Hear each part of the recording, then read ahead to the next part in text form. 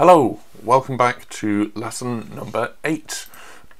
this lesson is about defensive programming. So, so far we've looked at many tools to build your program, to uh, write code and develop functions and code and packages and all kinds of things. But now we need to look a bit about how to make that code more reliable. Now, writing code is very well and easy, but writing code that is robust and reliable in under most circumstances is a lot more difficult. And the assert, the assert statement is an incredibly useful tool in your library uh, for dealing with this. Assert is a statement, that means we state it like so, there are no brackets, it is not a function. You say assert, and then we say give an expression that evaluates to true or false. So we could have x less than 10, then comma, and then we can put a string. And this string will be the error that appears. x must be greater than 10. And we'll just add in or equal to end string. Right, so at the moment we're getting a name error because we haven't defined x yet. So let's define x. Let's make x 4. Now if we run the assert, nothing happens because x is less than 10. So let's set x equal to 12. Run it again. You can see we're triggering an assertion error. it's saying x must be greater than or equal to 10. In other words, this is a way of raising an error specifically under a certain condition. It's like an if statement and a raise error statement all rolled into one. And they're very useful. Where would you use this, you might ask? Well, a quite common location would be in some kind of function. So let's have a, um, we could have a function that does the fizzbuzz algorithm. if I haven't mentioned it so far, FizzBuzz takes a number of some kind and says, is that number divisible by 3? If so, say fizz. If it's divisible by 5, then buzz. If it's divisible by 3 and 5, fizz buzz. and if it's divisible by neither, then just return the number. So we can say if number divisible by 3 and number divisible by 5 return fizz. Ah, no, fizz buzz. Else if number divisible by 3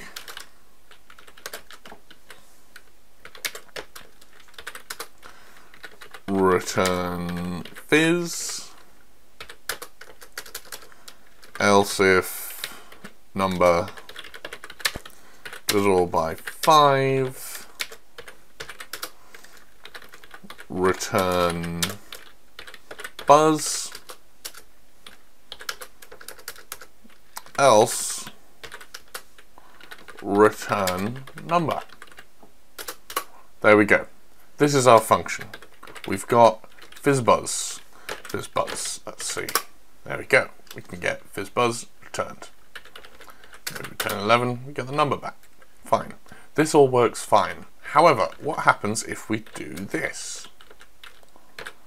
We get an error because type error, not all arguments converted during string formatting, which isn't all that helpful. So what we can do is add an assert statement. We can assert type of number is equal to int. Uh, fizzbuzz only takes integer arguments. There we go. So now, if somebody was to call fizzbuzz with a non-integer value, we get an assertion error and a much more helpful argument. we can even add uh, assertions to the end. So we can say assert number, well, we can assert type number in, so rather than saying equal to, we can say in int or string. Now what we're saying is we get an assertion error here, but if for some reason something is returned that is neither an int nor a string, it will be picked up by this assertion. Now you might be wondering, oh, but we're obviously not going to get that because we're taking the type here and we're returning things here. Like, yes, that's true. However, one thing that often happens in code is that people will go away and the code will be edited by them later on or by somebody else. Functionality will change to add in some kind of new feature and so suddenly these assertions at the, at the end are required because things are changing in the body of the code. this is a very common occurrence, especially when extending functionality. So that's how assertion types work. But as you can imagine, changing things in the body of the code, people might change the assertions to make uh, to work with what they currently do.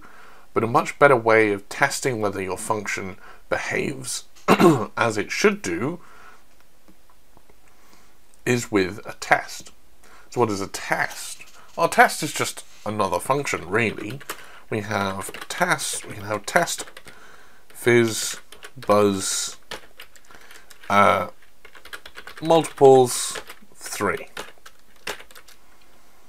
So what this test is going to do is it's going to run for i in for item in, and let's have a list of multiples of 3, so 3, 5, 7, ugh, 3, 6, 9, 12, and then we'll go up to some other large number like uh, 333 and uh, minus 3. So for each of those, we're going to assert that fizzbuzz of item is equal to fizz. There we go. So now if we run this test, it passes. Nothing happens because our function will return fizz for all of those values. And that's what a test is. We basically build some kind of test where we expect to see one result, we run our function to make sure it returns that result, and then we throw an error if it doesn't. And this is what's known as a test.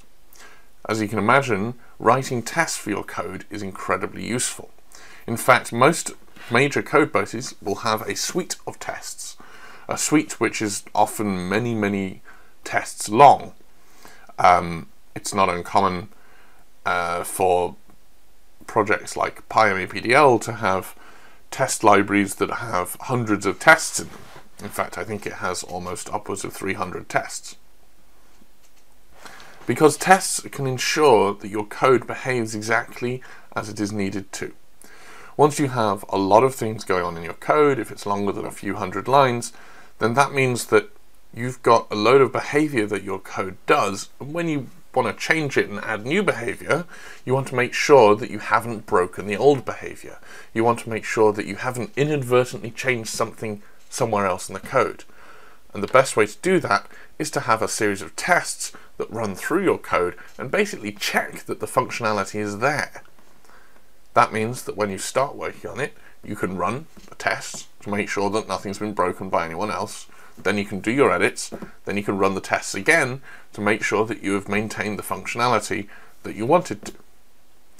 And we can show that with this FizzBuzz calculator because we've got FizzBuzz multiples of 3, we could do another one for multiples of 5 where we say uh, 5, 10, ah, but we could put 15 15 obviously won't work because it's a multiple of 3 and a multiple of 5. So skip that.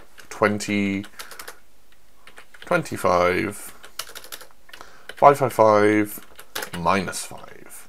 And then say that this should be buzz. So you might be wondering, okay, well, how are we going to... Ah, we've got an assertion error. What's going on? It means that one of our numbers is not returning the correct result. So we can do this. Let's say add a thing saying um, we're going to add an F string, which is a formatted string. I would recommend looking this up. This is just saying which item went wrong. So 555. This means that 555 is probably also divisible by 3. So let's change it to 55. There we go. Now it's passing. Okay, so we've got two tests for our function. What if we wanted to expand the fizzbuzz function? What if we wanted to expand and make it fizzbuzz bang? Fizzbuzz bang is an extension of fizzbuzz, whereby we go up to multiples of 7 become bang. Or we could even say fizzbuzz, what if we did fizzbuzz but with characters as well? So there is this other extension to the game where you say fizzbuzz for every character that matches the numbers. So for example 13 isn't divisible by 3 or 5 but you would say fizz because it's got a 3 in it. Suddenly things are getting more complicated. Suddenly things are getting a lot harder to program and thus a lot harder to make sure that everything works in every scenario. And that's where tests come in. Finally, I should talk about how so far we've been writing tests after we've written the function. This isn't that uncommon. Uh, this is quite a standard way of doing things. However, it has been shown time and again that the best way to write uh, functions is to write the tests first and we write the tests first, that's called test-driven development. We define tests beforehand and then use that to think about exactly what we think should happen. Take it for this fizzbuzz, for example. Imagine we hadn't written fizzbuzz yet. We write fizzbuzz multiples of 5. So we have these assert statements. These have to be true. Then we could do fizzbuzz multiples of 5 and 3 and then say all of these have to be true. So what else is a multiple of 5 and a multiple of 3? Okay, well that's some, some easy ones and then let's say minus 15. What do we think 0 should be? Should 0 be a multiple of 5 and 3?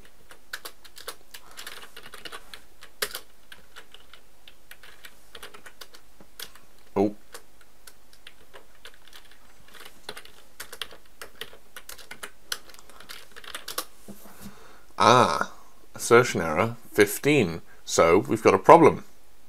You see, we've written our code. 15 should return fizzbuzz. Ah, but we didn't write it properly, did we? So we should have done fizzbuzz here rather than just buzz. there we go. Let's try it again. There we go. They're all passing. So 0 is also a multiple of 5 and 3. This forces us to think about exactly what we would do or what we want the code to do in that scenario. If we write the test first, we can say, okay, well, 15, 30, 60, minus 15, they should all be fine. But 0, should 0 be fizzbuzz? Should 0 be 0? Technically it's divisible, but do we include it? Should it be counted? This is what test-driven development leads us to think. It forces you to outline the specification in advance, and it's a very powerful tool. Alright, have a go at the exercises and see how you do.